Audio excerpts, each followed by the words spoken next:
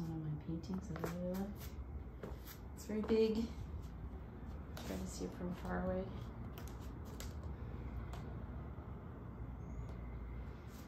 This is the bottom. These are some details. It's got a lot of like cute little details. Look at that little friendly things. It's, you can't really notice them at all from far away.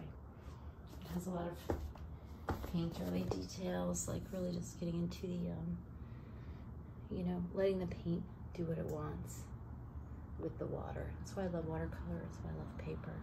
I can't, I do paint oil and acrylic, but I have to say I do not enjoy it half as much. Look at that, so cute.